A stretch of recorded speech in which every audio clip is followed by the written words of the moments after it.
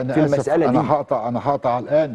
الآن خبر عاجل جدا خبر محزن جدا.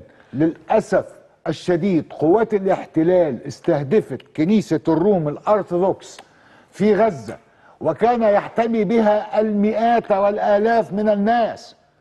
فيتم استهداف هذه الكنيسة. هتابع مع حضراتكم هذا الخبر وده اللي أعلنته وزارة الداخلية الفلسطينية. أنا هتابع مع حضراتكم خلال ال- ال- الساعة القادمة أو أكتر وهنفضل بقى سهرانين نشوف هم ليه بيضربوا الناس بالليل ويضربوهم في الأماكن اللي هم بيحتموا فيها.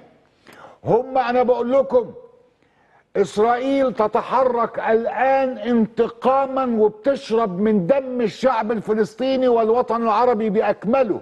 هم عايزين يحرقوا الأرض خلاص الأرض المحروقة سياسة الأرض المحروقة. سنتابع. يا رب يا رب يجيبها على خير ويا رب ما يكونش فيه إصابات كبيرة ويا رب ما يكونش فيه ضحايا راحوا. طب بيستنجدوا بكنيسة ربنا.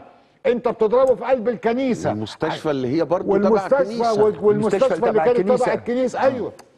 ألف, ألف أكتر من ألف. خلي بايدن يفرح. خلي بايدن ينبسط بالطيارات والأسلحة اللي هو باعتها اللي عمالة تدمر الناس وتقتل في الناس هي فين حقوق الإنسان بالمنطق ده؟ مفيش. حقوق انسان إيه بقى اللي بنتكلم فيها وبنتشدق بيها؟ أنا مش فاهم إيه اللي بيحصل ده. بس